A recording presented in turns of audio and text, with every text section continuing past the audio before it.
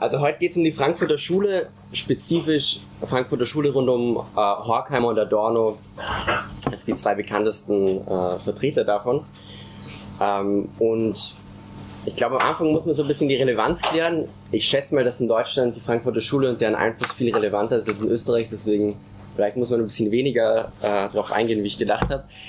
Ähm, aber ich werde es trotzdem machen. Ich meine, wir haben die, das Buch Ideologiekritik eben mal rausgegeben, wie wir eh schon diskutiert haben, gegen die akademische Entstellung des Marxismus. Und die Frankfurter Schule steht genau in dieser Tradition als einer der Hauptströmungen eines, äh, Hauptströmungen eines sogenannten akademischen Marxismus, Genau, der vom Marxismus ausgegangen ist, zumindest teilweise als Grundlage genommen hab, hat und komplett mit diesem gebrochen ähm, hat. Äh, wie gesagt, in Deutschland wahrscheinlich ein bisschen relevanter, aber die Frankfurter Schule zeichnet sich nach wie vor durch einen, eigentlich einen großen Einfluss äh, an den Universitäten aus, in den Geisteswissenschaften. Äh, politisch stützen sich beispielsweise die Antideutschen darauf, wo ebenfalls, glaube ich, in Deutschland viel mehr Erfahrungsberichte es gibt, irgendwie gibt, äh, als irgendwie von mir aus Wien was wahrscheinlich in Diskussion sehr interessant sein wird. Also darauf werde ich eher weniger eingehen. Äh, und ganz generell muss man, muss man das, glaube ich, breiter sehen als eine, äh, als eine Entwicklung, dass eine, eine Entwicklung, die viele sogenannte marxistische Intellektuelle durchgemacht haben zu der Zeit, beziehungsweise die Frankfurter Schule wahrscheinlich sogar viel früher wie, wie andere. Äh, und in dem Kontext ähm, kann man auch sagen, dass die Frankfurter Schule und ihre Theorieentwicklung äh, eigentlich sehr kompatibel ist mit den Ideen äh, von, von der Postmoderne, von Identitätspolitik, die wir ähm, gestern diskutiert haben. Es gibt nicht irgendwie eine direkte Beeinflussung oder so etwas. Teilweise ähm, haben sie sogar theoretische Konflikte, aber philosophisch und in extrem vielen äh, äh, theoretischen Aspekten ähm, ja, begegnen sie sich. Da will ich auch mit einem äh, netten Zitat von Foucault beginnen, als quasi einer der äh, Gründungsväter äh, der Postmoderne, des Poststrukturalismus. Ähm, er sagt nämlich über die Frankfurter Schule, ähm, und ich glaube zur Dialektik der Aufklärung spezifisch, aber dazu kommen wir später noch. Also er sagt zur Frankfurter Schule, hätte ich ihre Bücher gelesen, so hätte ich eine Menge Dinge nicht sagen müssen. Und mir wären Irrtümer erspart geblieben. Vielleicht wäre ich, wenn ich die Philosophen dieser Schule in meiner Jugend kennengelernt hätte, von ihnen so begeistert gewesen, dass ich nichts weiter hätte tun können, als sie nur zu kommentieren. Genau. Nur um irgendwie diese Kompatibilität äh, zu verdeutlichen. Genau, es sind irgendwie keine, äh, keine Theorieschulen, die irgendwie im engen Widerspruch stehen. Im Gegenteil, es ist eigentlich eine, äh, genau, wie gesagt, eine Entwicklung, die äh, dieser akademische Marxismus durchgemacht hat. Ähm, die ich auch so ein bisschen darstellen will. Äh, genau. Beginnen mit der Geschichte von der Frankfurter Schule genauer in der Theorieschule, ähm, dessen Geschichte eben in Frankfurt beginnt mit äh, dem Institut für Sozialforschung.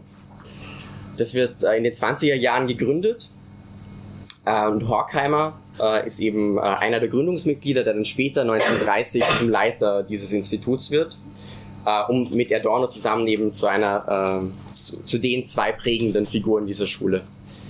Äh, und was, was diese Schule und diese zwei Theoretiker auszeichnet, ist vor allem anderen ähm, wirklich ein absoluter Bruch mit der Praxis äh, der Arbeiterbewegung. Also es ist irgendwie eine Schule, die eigentlich aus dem, aus dem Marxismus kommt, zumindest teilweise sich auf, äh, auf Marx bezieht, den als, äh, als Theorievater unter anderem hernimmt. Äh, genau, aber ähm, sich komplett in der äh, irgendwie gearteten Praxis verweigert. Ähm, also sie beteiligen sich nicht am politischen Leben der Arbeiterbewegung, äh, sie haben keinen Einfluss zu äh, irgendwelchen revolutionären Bewegungen ihrer Zeit, äh, noch, noch beziehen sie Stellung zu zentralen Fragen der Arbeiterbewegung zu der Zeit.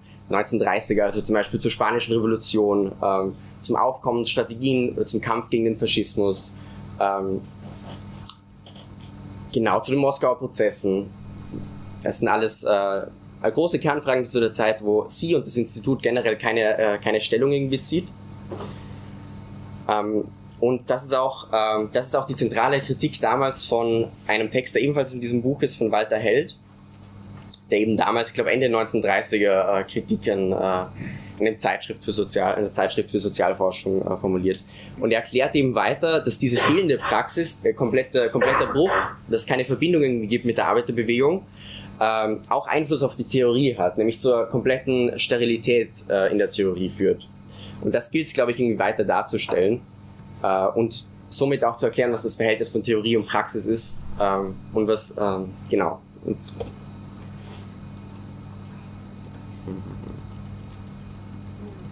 denn diese, ähm, diese fehlende Verbindung der Arbeitsbewegung, ich meine, heute, heute kommt uns das eigentlich recht normal vor, wenn wir irgendwie die Uni betrachten, Intellektuelle betrachten, äh, diese Theorien betrachten, dass da, dass da eigentlich ein ziemlicher Bruch ist und es keine wirkliche Verbindung gibt. Äh, aber das, das ist eine Entwicklung, die damals äh, angefangen hat. Also die, Frank die Frankfurter Schule zusammen mit, äh, mit vielen anderen Theoretikerinnen später äh, die hat quasi eine, eine ganze Generation begründet und das gilt, das gilt bis heute, ähm, wo, wo eben diesen, dieser Bruch stattfindet. Ähm, historisch, vor allem durch die Niederlage äh, der revolutionären Massenbewegung in den 30ern, durch die ganze, äh, ganzen Prozess der Stalinisierung der Sowjetunion und der ganzen kommunistischen Parteien, äh, hat einfach eine äh, extreme Verengung vom Horizont von diesen Intellektuellen stattgefunden und quasi eine Flucht komplett in den bürgerlichen Staatsapparat, in die Universitäten, äh, komplett entfernt von der Arbeiterbewegung. Ich glaube, ich muss ein bisschen verdeutlichen, was ich, äh, was ich damit meine, weil man könnte ja, man könnte denken, so Sozialdemokratie, die ganzen Reformisten, die zeichnen es auch aus, dass sie irgendwie im bürgerlichen Staatsapparat äh, festhängen oder zumindest deren Führung, dass sie mit dem Blick nur in diesem Staatsapparat sind. Und das stimmt, aber im Vergleich zu früheren Theoretikerinnen ähm, der Arbeiterbewegung ähm, nicht nur Luxemburg, Liebknecht, Lenin, Trotzki, so äh, die Revolutionäre äh, dieser Zeit, sondern selbst der Haupttheoretiker des Revisionismus, Bernstein oder Hilferdinger oder andere Sozialdemokraten, ähm, haben nicht diese Trennung gehabt. Die waren Bestandteil der Arbeiterbewegung äh, und jeweils von welcher Seite auch immer, aber das, das waren irgendwie äh, die Theoretikerinnen dieser Arbeiterbewegung und hatten eine Rolle in der Partei, waren gezwungen, konkret äh, sich zu positionieren. Und diese, äh, diese Verbindung äh, ist heute in den allerwenigsten Fällen gegeben. Und äh, wie, wie erklärt habe, die heutigen Intellektuellen haben, äh, haben einfach unmittelbaren Bezug zum Staatsapparat und null Bezug äh, zu einer politischen Praxis der Arbeiterbewegung. Das bedeutet nicht, dass die irgendwie keinen Einfluss haben. Äh, es gibt alle möglichen Theoretikerinnen, die äh, in, in der Linken, in äh, in den Sozialdemokratien diskutiert worden, werden, die hergenommen werden, um, äh, ähm, um, ihre, äh, um ihren Reformismus zu begründen. Äh, ich weiß nicht, Polanzas zum Beispiel, die Staatstheorie oder Frigga und ihr Verständnis von einer reformistischen Rosa Luxemburg. Äh, das sind alles tatsächlich Sachen, die, die Eingang in die Arbeiterbewegung gefunden haben, aber nicht, weil sie, weil das Theoretikerinnen sind, die in der Arbeiterbewegung stehen quasi. Und daraus folgt ein sehr spezifischen Charakter. Äh, ist quasi nochmal so eine eine Degenerationsstufe äh, höher ist als, äh, als der Revisionismus von Bernstein beispielsweise. Nämlich eine spezifische Generation oder Generation von, von Intellektuellen, die quasi absoluten Fokus auf äh, Beschreibung, äh, Beschreibung der Welt haben und zwar eine sehr, sehr enge Beschreibung auf Phänomenen wie Kultur oder Sprache. Äh, und wir sehen jetzt schon Entwicklungen zum Poststrukturalismus hin, aber dort hat quasi diese Entwicklung äh, begonnen oder ist zumindest befeuert worden. Äh, einen sehr verengten Horizont, wo sich auf spezifische Phänomene des Kapitalismus konzentriert und höchstens, wenn man Stellung bezieht, dann extrem abstrakt, extrem, äh, extrem schüchterne Position, die man hinter komplexen Umschreibungen und, äh, einer ver verworrenen Sprache verstecken muss. Was auch logisch ist, weil wenn man nicht ständig gezwungen ist und das auch irgendwie sinnvoll erachtet, Stellung zu beziehen in der Arbeiterbewegung, zu politisch, politische Position einzunehmen, äh, dann führt es genauso zu so, so einer schüchternen Sprache, äh, genau, schüchterne und äh, ähm, komplexen Umschreibung, genau, ähm, wenn man keinen Klassenstandpunkt einnehmen muss.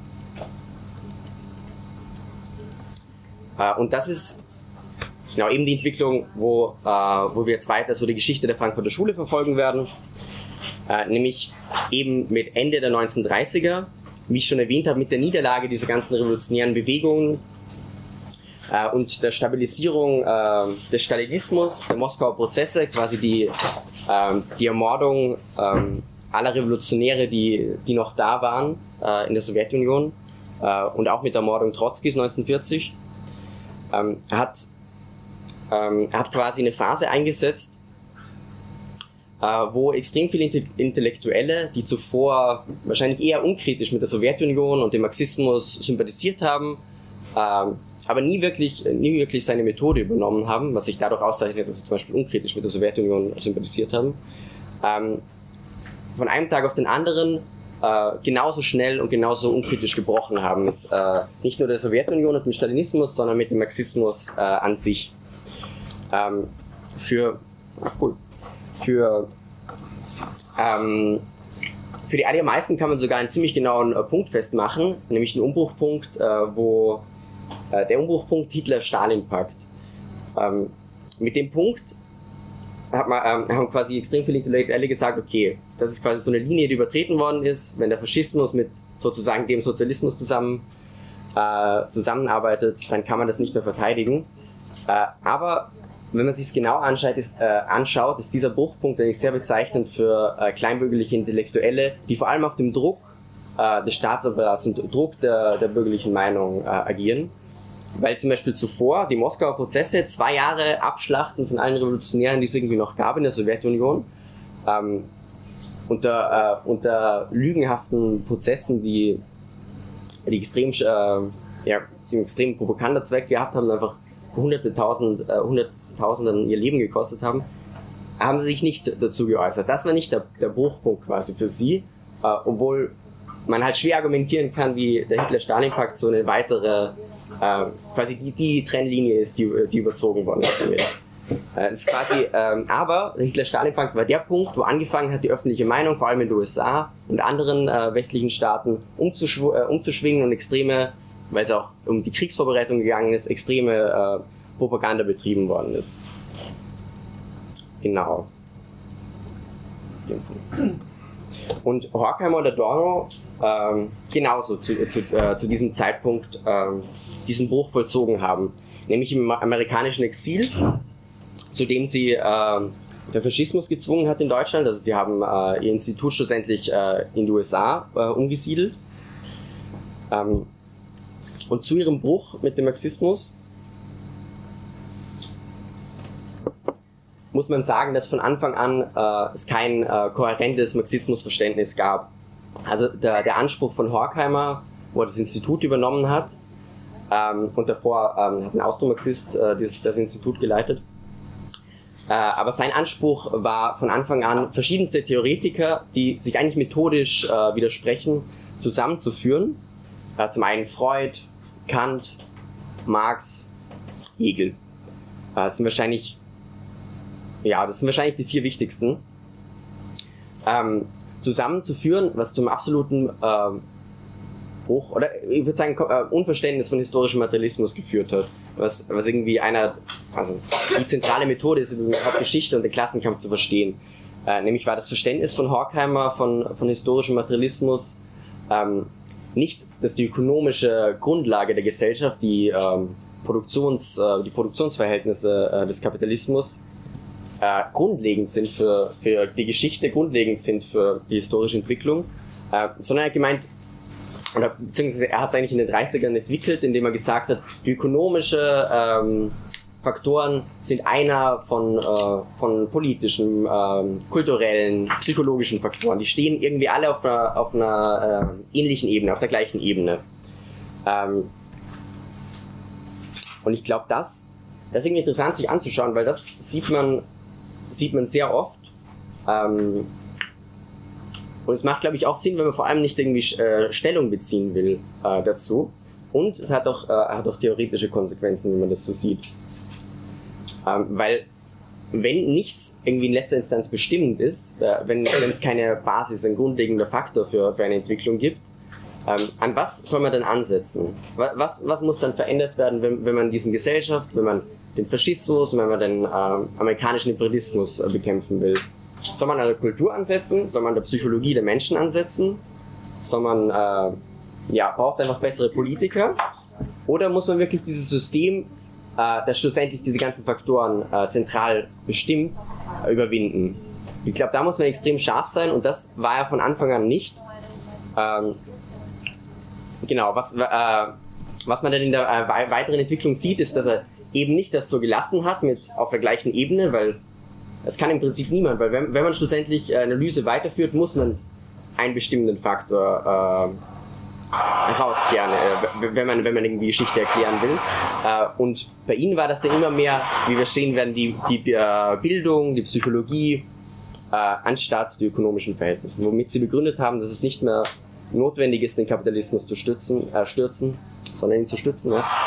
Äh, genau, und äh, mehr auf diese Faktoren wie Bildung zu setzen.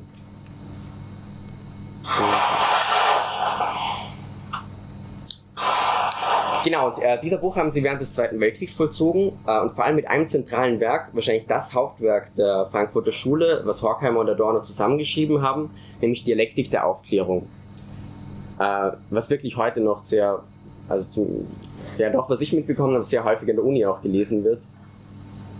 Also in Bildungswissenschaften, Soziologie, Philosophie. Ähm, genau, und was ist der Inhalt von diesem Buch?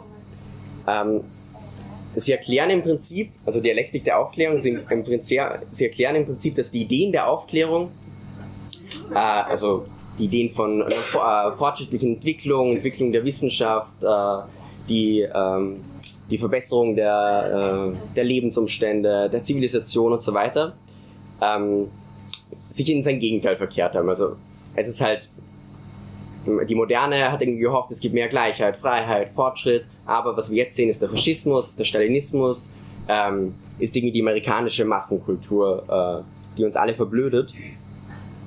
Ähm, genau, also es ist in sein Gegenteil umgeschlagen, aber wieso? Das führen sie auf die Ideen der Aufklärung zurück, quasi. Auf die Ideen der, der Philosophen der Aufklärung und sie verfolgen es sogar geschichtlich so weit zurück, dass sie gesagt haben, diese Aufklärung, diese Vernunftssteuerung, die beginnt quasi ähm, zu dem Zeitpunkt, wo der Mensch sich die Natur zum Untertan gemacht hat. Ähm, also mit der Naturbeherrschung und der, ähm, der Antike, der griechischen Mythologie. Deswegen ist das Buch auch eigentlich ähm, voll mit, mit, an, ähm, also mit Metaphern und Anführungen von, ähm, von mythologischen Erzählungen aus, äh, äh, aus der Zeit. Genau, aber sie begründen es im Endeffekt, es ist keine materialistische Analyse mehr, sondern, ähm, äh, sondern ein philosophischer Idealismus, den wirklich die Herrschenden nicht, nicht lieber haben könnten.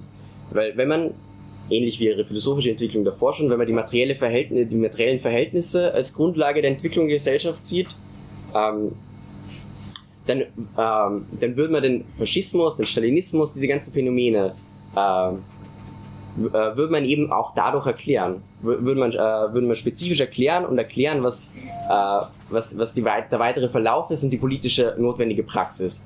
Aber dass sie äh, das exakte Gegenteil gemacht haben, nämlich die Ideen äh, hergenommen haben als den grundlegenden Faktor für, äh, für diese Entwicklung, äh, ist es nicht mehr notwendig, dieses äh, ökonomische System zu verändern, irgendwie daran anzusetzen, äh, sondern es ist tatsächlich einfach die Veränderung der Ideen notwendig. Aus ihrer Sicht äh, ich glaube, das ist in der Frankfurter Schule umstritten, aber aus ihrer Sicht quasi mehr Aufklärung, obwohl sie das eigentlich kritisieren, äh, mehr Aufklärung vonnöten, mehr Bildung, äh, um die Menschen, ähm, Menschen quasi aus dem Bann des Faschismus, aus dem Bann dieser Massenkultur äh, zu befreien. Äh, und ich glaube, es ist echt wichtig, so den historischen Kontext von diesem Buch anzuschauen, weil allein durch das, Bu äh, das Buch zu lesen, wird man, wird man glaube ich, wirklich nichts verstehen können, weil wie, es ist mehr so ein fetzenweiser Ausschnitt aus Gesprächen zwischen Horkheimer und Dorno, die, die mitgeschrieben worden sind und voll mit, äh, mit äh, Ausschnitten aus, aus der griechischen Mythologie. Äh, und es ist halt so abstrakt und verworren geschrieben, dass jeder so seine, seine Sachen reininterpretieren kann. Es gibt alle möglichen Leute, die wollen unbedingt Horkheimer oder Dorno materialistisch interpretieren und wollen sagen, okay, das, was sie darlegen, ist äh, wie der Faschismus aus der aus den kapitalistischen äh, Verhältnissen quasi gefolgt ist, zusammen mit, äh, mit äh, amerikanischem Imperialismus, zusammen mit dem Stalinismus. Äh, äh, genau, aber wenn man sich den historischen Kontext anscha anschaut und die Entwicklung, dann ist das einfach ein, absoluten Bruch, ein absoluter Bruch dem, mit dem Marxismus, basierend auf diesem massiven Druck, der während dem Zweiten Weltkrieg und massiver Isolierung, der während dem Zweiten Weltkrieg auf den Intellektuellen quasi spezifisch gelegen ist. Und das zeichnet sich auch dadurch aus, dass sie dieses Werk mehrmals komplett umgeschrieben haben äh, und spezifisch marxistische Wörter rausgestrichen haben und durch ähm, unbelastete, ja, nicht so stark belastete Begriffe quasi ersetzt haben. Äh, und das ist wirklich bezeichnend. Das ist nicht, nicht nur, dass es schöner äh, klingt, dieses Buch, sondern ähm, es ist, also es hat extrem, äh, extrem verheerende Bedeutung. Ich will nur ein Beispiel bringen. Äh, nämlich ersetzen sie beispielsweise das Wort Ausbeutung durch das Wort Versklavung, was komplett andere Bedeutung hat, weil im Marxismus ist das Wort Ausbeutung äh, hat eine wissenschaftliche Bedeutung, äh, bedeutet äh, de facto Mehrwertabschöpfung. So, äh, so haben das irgendwie Marx und Engels verwendet und so würden wir das heute ebenfalls verwenden. Und Versklavung ist, ist eine äh, moralische moralische Angelegenheit wieder. Also es hat schon noch wissenschaftliche Bedeutung, aber es ist, es ist nicht irgendwie spezifisch äh, auf die kapitalistische Produktionsmethode äh, irgendwie zurückzuführen. Und das gibt es noch mit mehr Begriffen, keine Ahnung, die sind alle da zitiert, ich will es irgendwie nicht mehr anführen. Äh, und es ist auch im weiteren Verlauf, dann, wenn es in Italien veröffentlicht worden ist, ebenfalls nochmal umgeschrieben worden. Genau. Und wenn man äh, wenn man das irgendwie als ihre, ihre idealistische und antimarxistische Wende sieht, dann äh, macht auch ihre weitere Entwicklung äh, als Schule mehr Sinn. So. Also dieses Buch muss wirklich aus dem historischen Kontext gesehen werden. Ähm, und was ist, was ist ihre weitere Entwicklung, wenn sie irgendwie versuchen, komplett entfernt von der Arbeiterbewegung mit der idealistischen Philosophie äh, zu stehen, dann können sie irgendwie nicht neutral zwischen den Klassen stehen, sondern dieser Bruch mit dem Marxismus führt schlussendlich äh, zum Übergang, wenn sie irgendwie, weiß nicht, wirksam sein wollen, äh, führt zu, äh, schlussendlich zum Übergang äh, ins Lager der herrschenden Klasse. Äh, und das hat sich während des Zweiten Weltkriegs ausgedrückt, indem sie mehr und mehr den Kapitalismus auch akzeptiert haben, äh, was sie nicht unbedingt theoretisiert haben, aber ähm, Horkheimer und Adorno bekennen sich mehr und mehr zur amerikanischen Demokratie in diesem Zeitpunkt, als quasi der einzige Ort, an dem man noch wissenschaftlich frei schaffen kann, sozusagen. Ähm, genau, und äh, das das führt eigentlich auch äh, zu ihrer weiteren Entwicklung, wo sie quasi isoliert von, von jegli äh, jeglicher Praxis, ähm, um mit diesem, mit diesem philosophischen Umschwung der politische Praxis tatsächlich dann entwickeln nach dem Zweiten Weltkrieg, und zwar zusammen mit dem bürgerlichen Staatsapparat, mit der USA und der BRD. Wozu ich gleich kommen werde. Ähm, äh, davor ähm, zur Situation nach dem Zweiten Weltkrieg, äh, wo sie eben ihre politische Praxis entwickeln. Ich glaube, das ist, äh, ist sehr wichtig, um das zu verstehen aber wahrscheinlich nicht überraschend für die meisten, die, die hier sitzen. Ähm, nach dem Zweiten Weltkrieg finden wir eine Situation vor, wo der, wo der Kapitalismus auf Weltmaßstab äh, massiv geschwächt ist.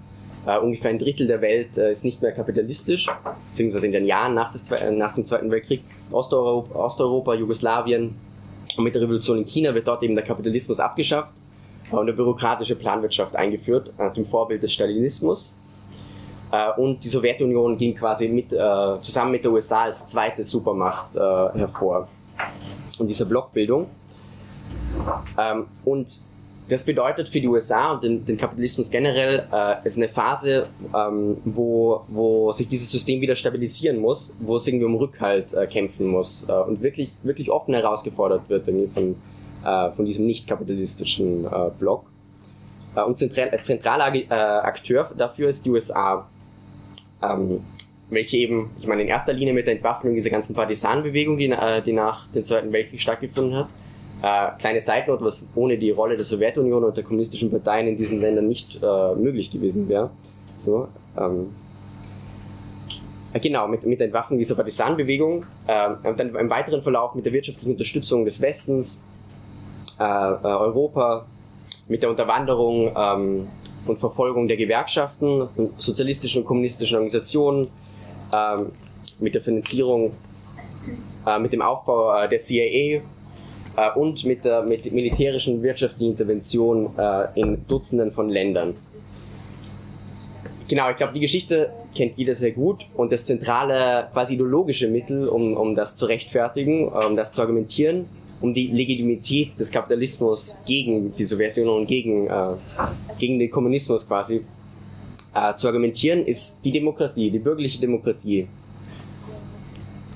Und wir wissen irgendwie, was für, äh, was für Heuchelei das darstellt, weil jede quasi militärische Intervention der USA genau mit diesem Argument der Menschenrechte, Demokratie und so weiter verbunden ist. Äh, doch selbst heute ist das einer, äh, einer der zentralen äh, quasi ideologischen Mitteln und Linien der, der Herrschenden, um ihr System vielleicht nicht als, als unbedingt ein gutes System, aber das, einzig, äh, das einzige System zu präsentieren, das funktioniert. Weil wenn man den Kapitalismus stürzen will, wenn man irgendwie die, äh, die Produktionsmittel, die großen Banken, die Konzerne enteignen will und unter demokratischer Kontrolle der Arbeiterinnen äh, führen will, wie wir gesehen haben, führt das irgendwie in die Diktatur, führt das äh, zur totalen totalitären Herrschaft irgendwie im Osten. Und nur die freie Marktwirtschaft kann diese persönlichen, diese politischen Rechte äh, garantieren. Ähm, genau. Und diese zentrale, diese zentrale Argumentationslinie, das, ist, das war unter anderem eben die Aufgabe des Instituts, was nach dem Zweiten Weltkrieg zurückgekehrt ist ähm, nach Frankfurt, als zurückübersiedelt ist, eben unter, äh, unter dem Auftrag und der Finanzierung der USA, äh, genau, äh, genau um das zu machen, äh, nämlich um demokratische Ideale in die Köpfe der Menschen einzuimpfen. Das ist ein Zitat von Horkheimer. Was er, glaube ich, in einem Brief an, genau an mehrere, ach, das ist eigentlich vielleicht später, ist egal. Äh, genau, und zurückgekehrt haben sie genau, äh, genau diesen Zweck irgendwie erfüllt in Frankfurt an der Universität, äh, Vorlesungen konzipiert äh, zum, äh, zur Rolle der Bildung, zur Entwicklung äh, des Unterrichts in Schulen geschrieben. Ähm, und genau in der Zeit ähm, ist, ist eben diese Phase von, äh, von einer bürgerlichen Offensive, wo sich versucht, der Kapitalismus wieder zu festigen. Und in Deutschland spezifisch zum Beispiel wird, äh, wird in den 1950er, wo das, wo das Institut zurückkehrt, der Verbot der KPD vorbereitet, äh, als einer von den äh, genau, äh, Momente, wo es quasi diese bürgerliche Offensive gab, äh, um das System wieder zu festigen glaube 1956 ist, äh, ist sie dann schlussendlich verboten worden. Aber mehrere so. Ähm, was sich quasi schon ein, abgezeichnet hat am Anfang, am Anfang von dem Jahrzehnt. Und, und das ist die Zeit, äh, wo das Institut quasi, also natürlich keine Stellung dazu bezieht, das sollten Sie inzwischen nicht mehr überraschen, äh, aber halt komplett im, im bürgerlichen Staatsapparat in, äh, in der Universität irgendwie aufgeht. Äh, und zusammen mit der, mit der BRD äh, eine Praxis entwickelt. Das ist auch die Zeit, wo zum Beispiel die, ähm, die westdeutsche Armee wieder aufgebaut wird, äh, nachdem die Besatzung irgendwie zu Ende ist. Äh, und sie beteiligen sich ähm, an, an der Auswahl, ein Auswahlverfahren von Offizieren. Welche Offiziere am eigen, äh, eignen sich am besten für die westdeutsche Armee? Aus ihrer, aus ihrer Situation als Intellektuelle die Praxis der Arbeiterbewegung schon längst aufgegeben, macht das ja tatsächlich Sinn, weil aus ihrer Sicht ähm, hat quasi Deutschland den, den Faschismus erlebt und den, den, die äh, Menschen müssen wieder umerzogen werden, dass sie diese, äh, diese Erfahrungen überwinden. Äh, aber eben umerzogen, indem man mit dem möglichen Staatsapparat die Offiziere äh, auswählt, wer vielleicht, äh, wer vielleicht eher faschistische Gedanken hat und wer, äh, wer eher ein guter Demokrat ist, äh, quasi.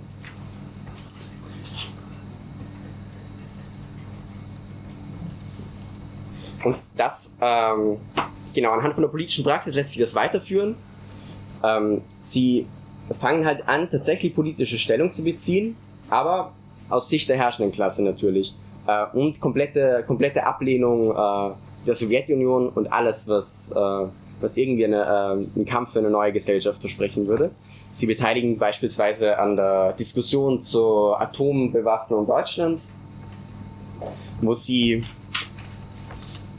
Stelle habe ich mir auch nicht markiert, egal.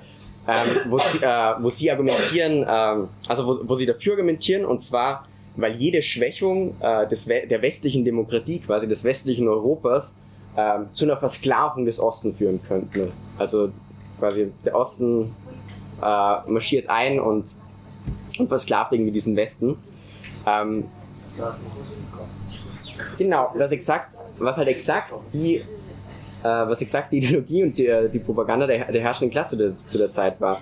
Und ähm, wenn man quasi die, diesen Schritt gegangen hat, die, die Sowjetunion und einen degenerierten Arbeiterstaat äh, komplett mit dem gebrochen hat, also den, den als schlimmer und bekämpfenswerter ansieht als die, die westlichen Demokratien, äh, was glaube ich auch heute äh, quasi argumentiert äh, werden müsste, dann kann man daraus nur schlussfolgern, äh, dass der Kampf für den Sozialismus, für, für irgendeine Art von Sozialismus oder, äh, oder Enteignung der Kapitalistinnen äh, nicht zielbringend ist. Was, weil, weil, was wir argumentieren ist, dass im, im ganzen Verlauf der Sowjetunion die Errungenschaften quasi des, äh, des Arbeiterstaats, nämlich die Planwirtschaft, die verstaatlichte Wirtschaft, so, das ist, was erhalten werden muss. Und diese Bürokraten, äh, diese, äh, diese ganze bürokratische Schicht, die diesen noch existierenden Arbeiterstaat, diese Planwirtschaft quasi zugrunde richten, äh, gestürzt werden muss.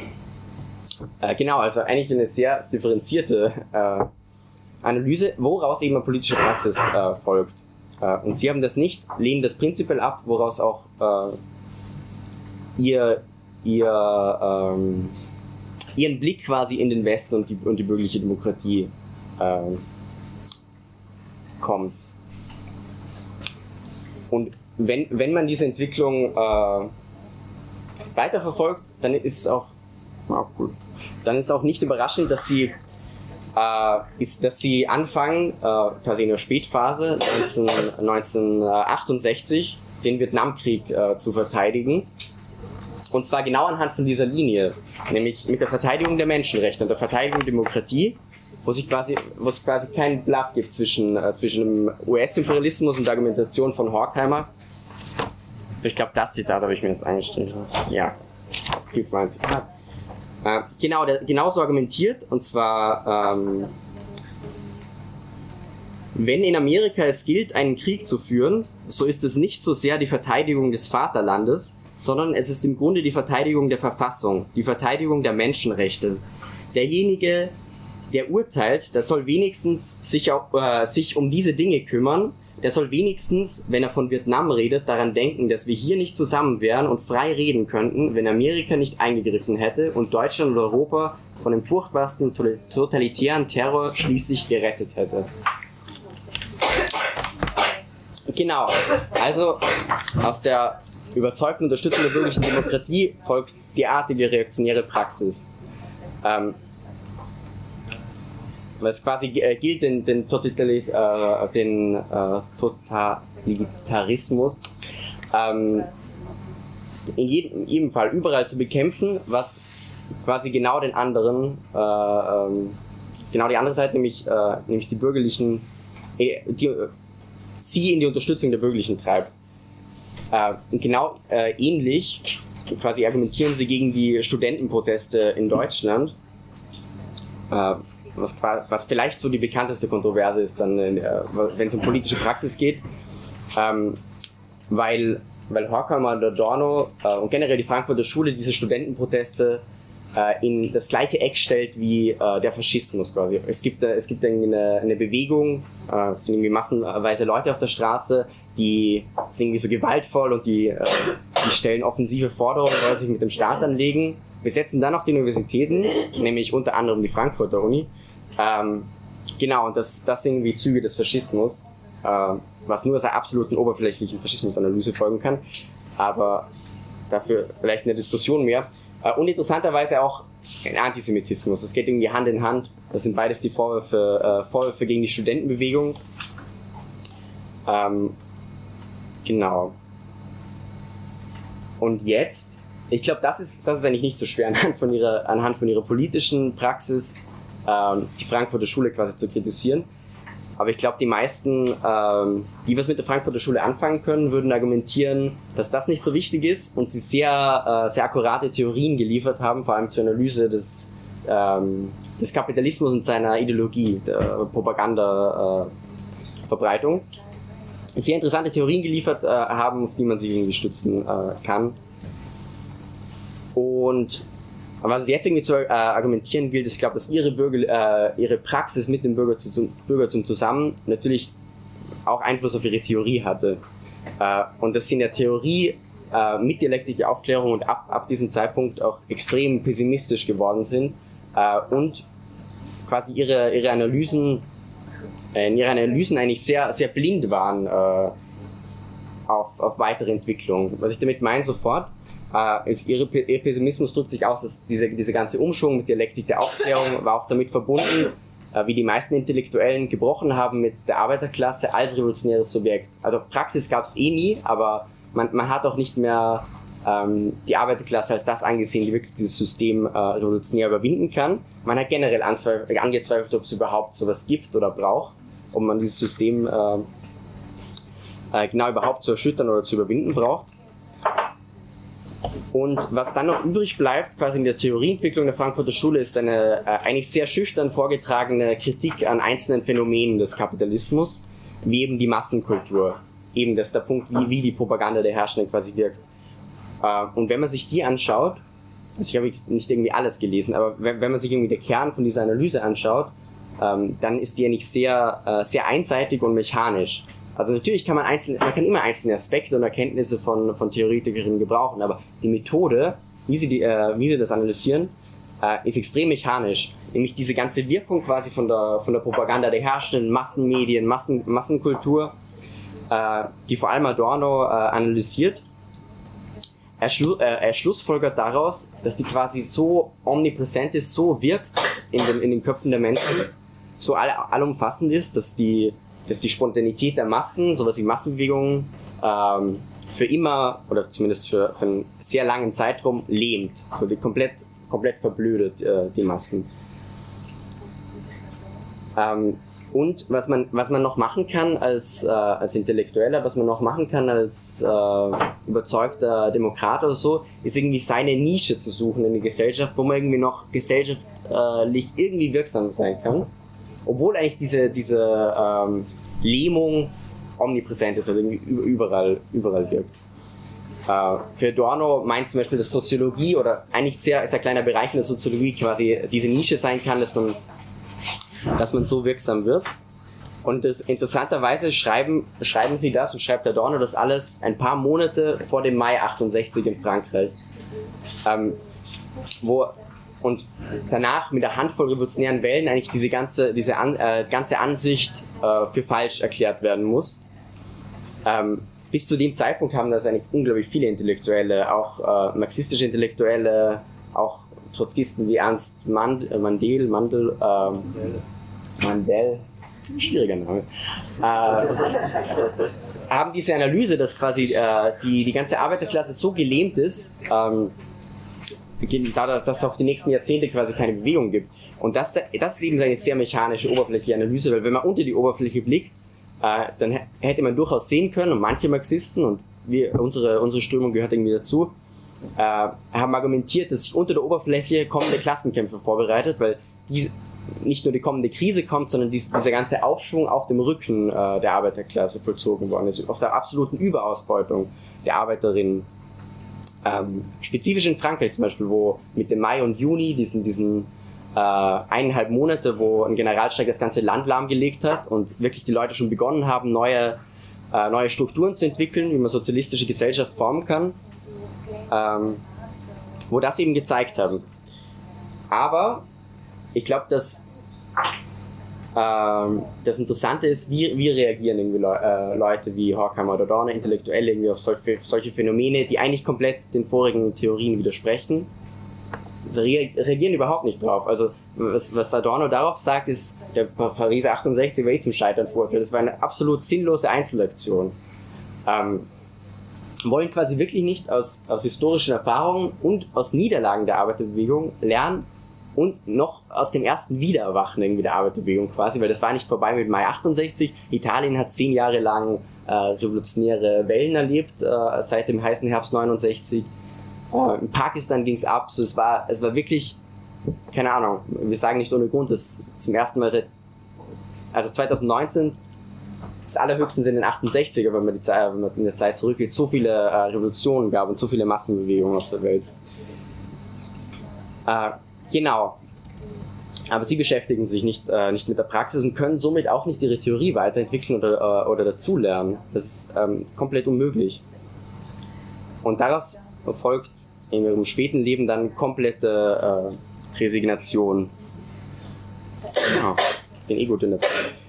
Ähm, komplette Resignation und dazu kann man sich äh, extrem gute Interviews im Spiegel mit Horkheimer oder Adorno äh, anschauen und lesen ähm, die, äh, die auch den Vorteil haben, dass sie sich quasi unglaublich im Verhältnis zu ihren anderen Werken unglaublich klar ausdrücken müssen und äh, immer nachgefragt wird. Und äh, da sie zu dem Zeitpunkt auch extrem unter Druck stehen wegen den äh, Studentenbewegungen, wegen ihrer Kritik quasi an Horkheimer oder Adorno, dass sie, sich, dass sie keine politische Stellung einnehmen.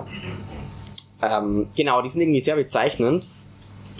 Ähm, Adorno sagt, sagt zum Beispiel zu seinem Verhältnis zu Theorie und Praxis, ja, irgendwie hat Theorie schon Auswirkungen auf Praxis, aber er, er macht sich irgendwie politische Fragestellungen oder Stellung beziehen, irgendwie keine Gedanken, die Theorie wird schon irgendwie wirken, so, so, äh, so in der Richtung. Das, äh, diese, diese mystische Verbindung, das, das überlässt er irgendwie anderen, er, er unterrichtet halt an der Uni und er äh, entwickelt seine Theorie.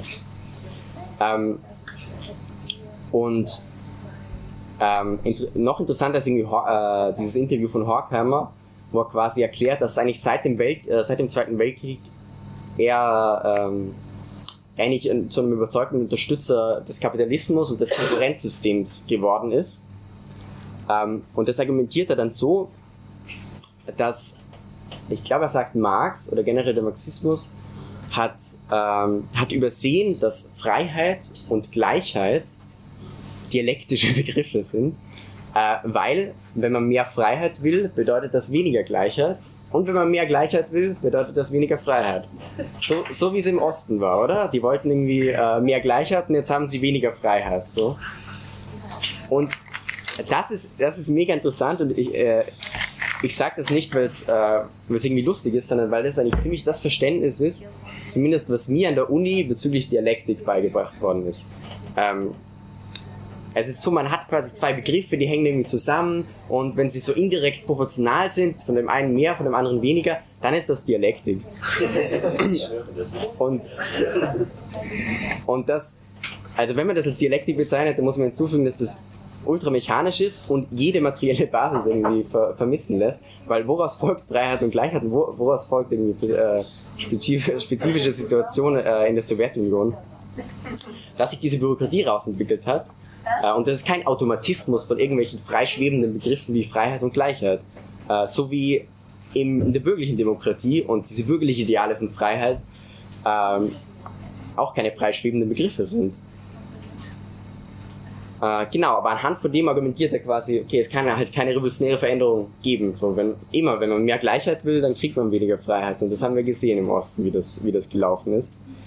und genau, am Ende ähm, das ist, glaube ich, vor allem interessant zu sehen, wo, wo, worin das irgendwie führt. Ähm, am Ende argumentiert er, glaube ich, äh, argumentiert er, was ich glaube, ist, ist, auch so ungefähr die Aussage von Adorno in seinem späten Leben, wo er dann auch eine äh, negative Dialektik schreibt, äh, auch so ein zentrales Werk. Ähm, argumentiert er, dass das Einzige, was man noch machen kann, ist, man kann, man kann die Welt nicht mehr positiv äh, verändern. Es gibt keine quasi positive Utopien, die man dem entgegenstellen kann, sondern man kann sie nur noch äh, negativ äh, verändern. Man kann quasi das, das Schlimmste, was passiert, verhindern, das, das Positive, was noch existiert in dieser Welt, irgendwie erhalten. An dem, an dem kann man noch festhalten, aber so wirklich neu, äh, neue Transformation oder so, das ist äh, das alles nicht mehr möglich. Äh, und also würdest du noch vermuten, dass man irgendwie so auf ähm, positiven Sachen festhält, die es im Kapitalismus gibt? Ich weiß nicht, Errungenschaften der Arbeiterbewegung zum Beispiel, aber nee, er, er, er geht zum Beispiel auf die traditionelle Rolle der Familie ein, was er als, äh, als das Positive, was es zu bewahren gilt, äh, anführt äh, und quasi so eine, äh, so eine Weltanschauung hat, wo, wo er gegen die Pille der Frau, äh, für die Frau argumentiert und gegen die Erwerbstätigkeit der Frau, weil es gefährdet die traditionelle, äh, das traditionelle Bild der Familie. Ähm, also wenn man echt von, von der materialistischen Analyse entfernt ist der Welt, das nicht mehr irgendwie zurückführen kann auf reale Prozesse, dann ist man echt doomed. Ja. Ähm, ja. Jetzt bin ich zwar auf einige Sachen nicht eingegangen, das können wir wahrscheinlich eine Diskussion machen. Ähm, genau, aber ich habe eben zum einen wollte ich versuchen darzustellen, was glaube ich ganz gut geklappt hat, äh, was die Frankfurter Schule für spezifische Entwicklung durchgemacht hat, von einem Bruch nicht nur mit der Philosophie des Marxismus, sondern äh, von einer absoluten Trennung von Theorie und Praxis. Äh, und das hat einfach Einfluss auf, äh, auf beides, weil das ist wahrscheinlich das, was die meisten zur Frankfurter Schule sagen würden. Das waren halt Top-Theoretiker oder zumindest extrem, extrem gute Ansätze. Und das mit der Praxis kann man irgendwie weglassen. Aber das kann man nicht weglassen und das ist extrem wichtig. Wir entwickeln unsere Theorie immer anhand von den Erfahrungen der realen Bewegungen und der realen Prozesse äh, anders könnten wir überhaupt nichts verstehen und überhaupt nichts vorhersehen und könnten politisch einfach auch keine Schlussfolgerung ziehen daraus. Ähm, genau. Ich meine, ist wie Marx gesagt hat. Die Philosophen haben die Welt nur verschieden interpretiert. Es kommt darauf an, sie zu verändern. Das ist ein schöner Schluss.